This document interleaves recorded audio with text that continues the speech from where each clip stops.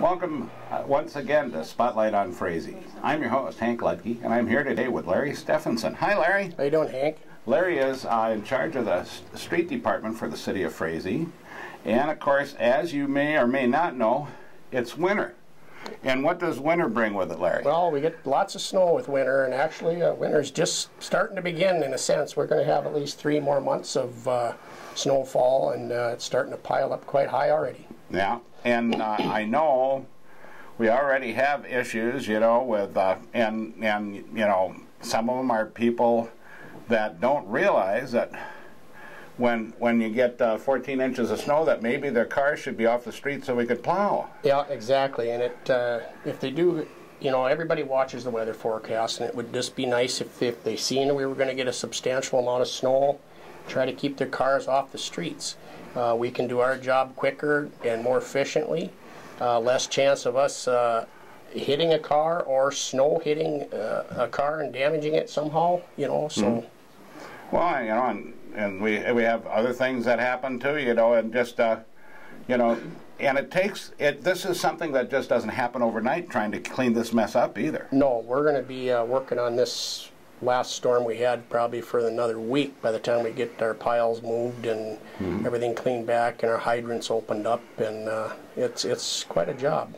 Well, and then we've got you know kids, you know, we've got school going on, we've got uh, pedestrians, we've got other things that you need to watch for because it's winter. And the thing is, it, just because you're in a 30 mile an hour speed limit zone or a 45 mile an hour speed limit zone doesn't mean you have to drive that speed. Conditions are what dictate what you're supposed to do. So, you know, you need to think a little bit what's Yeah, happening. yeah. And I, I don't know if we've had any water issues yet. Probably with all the snow cover, we haven't had any water or sewer issues. And No, it helps insulate, uh, especially on where we don't plow. It uh, helps them areas out quite a bit as far as freeze up goes. But out in the streets, naturally, we plow them off, and the frost goes down where it normally goes. And we're starting to get into the uh, below zero weather coming up here, and uh, frost is going to push down quite a ways. yeah, and then um, the other thing is, you know, not all the the um, main arteries in town are city. We have uh, Yeah, we have we got county roads, we have state roads, and a couple of township roads. Yeah. So it's just not us, you know, and and sometimes the other entities can't get here when you think they should be, simply because of the amount of snow Yep, too. exactly. So we ask you to bear with us and do what you can to not only help us, but help yourself, help your neighbor. Be careful. Watch out what's going on. Pay attention. Don't get that tunnel vision thing, you know, where you aren't looking what's going on. This is a very dangerous time of the year. People get injured all the time, or in like uh, the guy out on 94 west, uh, the trucker that helped during the blizzard got hit and, and, and died now because he was trying to help somebody else out on the roadway. Yep, yep. And uh, intersections, you know, are getting tall with snow, and uh, people have to take extra caution, caution when they pull up to the intersection. Also, when they pull out of the intersection, go slow, make sure there's no cars there, and and things like that. And one other thing I'd really like to stress too, that the snow piles are now starting to get high. Of course, kids like to play on snow, dig in snow. That's probably one of the most dangerous places to play around in the snow is along a city street because when we come and plow, we don't know what's in there. No, I don't know if the kid's tunneled in there. Yep. So that's one thing, and to stress the parents to tell their kids to stay away from the streets with their snow forts and things. Well, I really appreciate you being on the snow on the show, Larry. Not on the snow, but on the snow too. And I appreciate all you people out there in TV3 land paying attention to what we're talking about here. Remember, think, look, listen, and tell your kids and help your neighbors. And we'll get it cleaned up as soon as we can. I think we're going to pro- probably by June we shouldn't have any more snow. We should have it cleaned up pretty good by then. Okay. Thanks for being on the show, You bet, Larry. Hank. We'll see you next time. Yeah, and we'll be right back with another segment of Spotlight on Frazee. Welcome back to Spotlight on Frazee. I'm your host, Hank Ludke, and we have some more information about things that go on during the winter. We're here with uh, Chief Mike Johnson. Howdy, Mike. Hello. How are things in relation into the police land during the uh, safety issues that we re- run into nowadays, too? Well, we've been we've been busy, uh, especially with the weather the way it is and things like that. And I know one of the things we had talked about, you know, is that we have uh, the instant alert system, you know, that can let people know. And uh, if you'd talk That's about right. that a little Uh, bit. We have, well, Frazee and other communities, we belong to the instant alert system. Uh, the, we ask that the people in town here come on into the city office or, or give Marion a call and we can get you set up with an instant alert. Um, with that, it'll send out messages to your cell phone, your home phone, email, or a text message. And that way, um, if we do have a bad storm coming, we can send out messages requesting you not to park on the streets or um, we can let you know that we're in a blizzard warning. Yeah, or any other type of emergency, such as Detroit Lakes had with the gas leak. Yep, last night uh, Detroit Lakes uh, sent out two messages, uh, one to evacuate and one to let people know that it was safe again.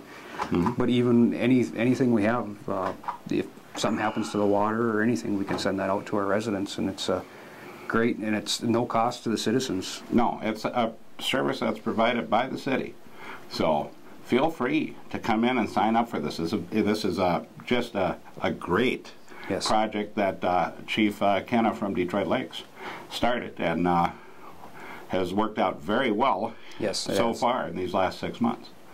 And uh, then, of course, uh, as uh, we get our snow, also we get snowmobiles. Yes, we get our snowmobiles in town.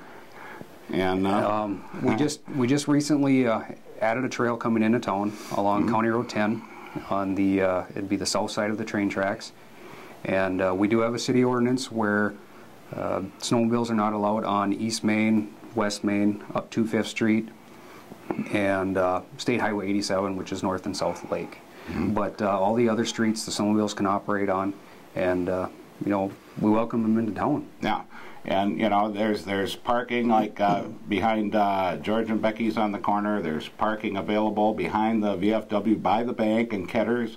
There's parking over by the Frazee Municipal or up at the grocery store. These areas are easily accessible to you, and uh, so And come what on in. And what we're suggesting is if they come in on County 10, take Nada Road, which is between the railroad tracks and all in all, and they could get around to if they want to go to the.